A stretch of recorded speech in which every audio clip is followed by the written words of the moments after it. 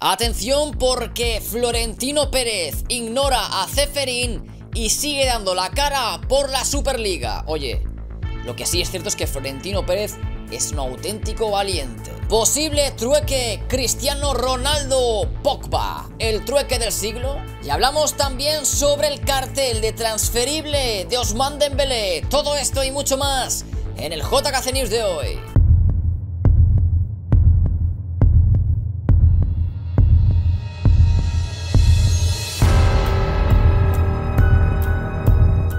¿Qué pasa? ¿Cómo estáis? Welcome otra vez aquí en JKC Live. Bienvenidos a un nuevo vídeo, bienvenidos a un nuevo JKC News donde os informamos de las noticias más destacadas del día. Vamos a empezar con esa entrevista que ha concedido Florentino Pérez al diario AS, ¿vale? Desde luego sigue sacando el pecho por la Superliga Europea y hace saber muchas cosas que nos van a quedar muy claro a todos.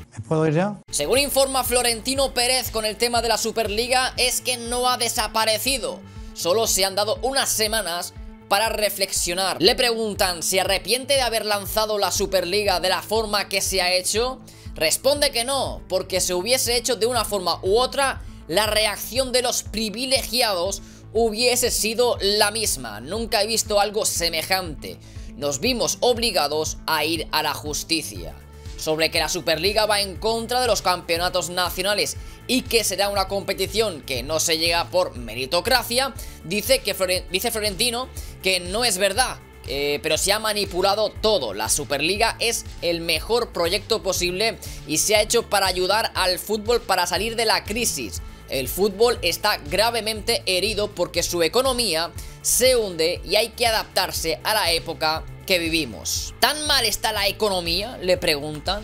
Y responde con datos. Dice, el informe de la consultora KMPG, solo en tres meses de pandemia que afectaron a la temporada pasada, se perdió 650 millones entre los 12 clubes de la Superliga. Este año, eh, esa temporada completa en pandemia, las pérdidas irán entre los 2.000 y 2.500 millones de euros en pérdidas. El Girondins acaba de irse a la quiebra. O hacemos algo pronto o quebrarán muchos clubes. Sobre los métodos de la Superliga es que si hay partidos más interesantes y competitivos, entrará más dinero en el fútbol y eso será para todos, no para unos pocos, porque las eh, ligas nacionales valdrán mucho más. Y además tenemos cantidades importantes para la solidaridad que es un pilar importante del proyecto. Sobre la marcha y sanción de los clubes, de la Superliga comenta que no se va a explicar lo que es un contrato vinculante, pero que los clubes no pueden salirse. Algunos, por las presiones, han tenido que decir que se van, pero este proyecto u otro muy parecido saldrá adelante y espero que pronto. Es decir, los que han dicho que se van de la Superliga realmente no se pueden marchar por ese contrato vinculante. También más palabras para Ceferín y Tebas y comenta que el presidente de la UEFA ha tenido un comportamiento muy poco saludable y más desde la presidencia de una institución que defiende el fútbol y sus valores. Todo lo que ha pasado ha sido lamentable, con insultos y amenazas. ¿eh? Ahí está la entrevista de Florentino Pez, os la he resumido porque ha sido muy larga y os la he resumido prácticamente en 3 minutos.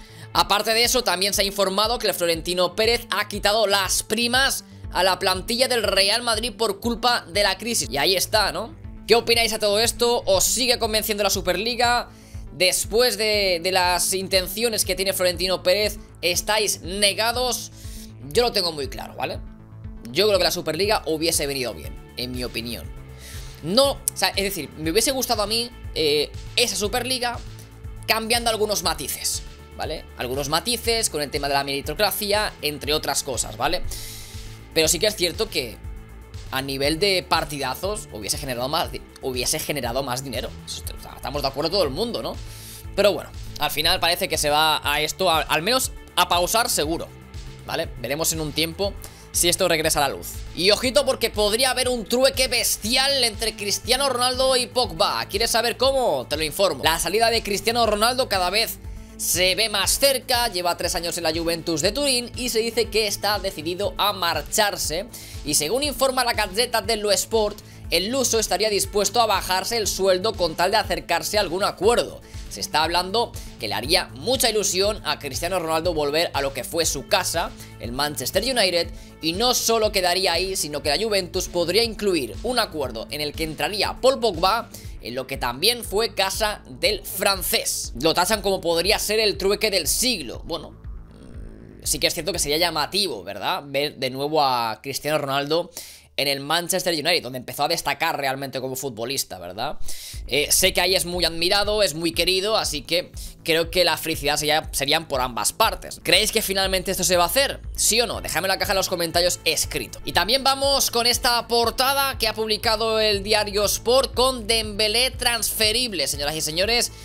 Parece ser que, según se informa incluso, parece que Dembélé no quiere renovar con el Barça, quiere, bueno, quiere como darle largas para eh, salir gratis en 2022. Lo que tiene claro es que el Barça quiere renovarle, pero si sigue así dando largas no le quedará más remedio que ponerle en el mercado de transferibles. Por cierto, la Juventus interesadísimo en eh, Osman Dembélé. La verdad es que es una pieza clave, de hecho eh, podría jugar esta jornada de liga, se está ejercitando bien y pues un jugador importante como Osman Dembélé o lo retienen o va a estar jodido el Barça. Porque creo que fichar ahora mismo a un jugador de las características o la diferencia que puede hacer Osman Dembélé en el Barça es muy complicado, ¿no?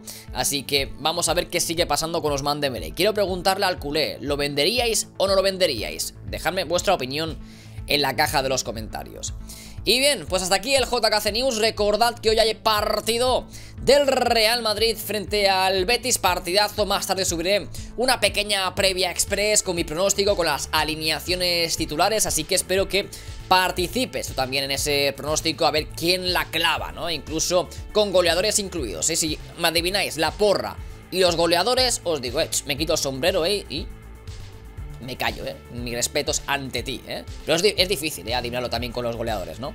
Y bien, eh, luego ya prácticamente, si mal no, voy, mañana juega el Barça, ¿no? Y también, pues lo dicho, narraremos todos los partidos aquí en directo. Así que por eso te sugiero que te suscribas al canal, le des un buen me gusta a las JKC News y ya sabes, en la caja de los comentarios tu opinión acerca de todo lo que he comentado. Un saludo y nos vemos en el siguiente vídeo. Chao. ¿Me puedo ir ya? ¿Me puedo ir ya? ¿Me puedo ir ya? 我已。